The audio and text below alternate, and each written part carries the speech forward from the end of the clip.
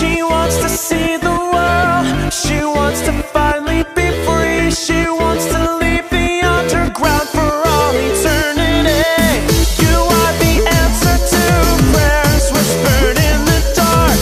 Can you repair, repair a broken heart? Congratulations on this new and exciting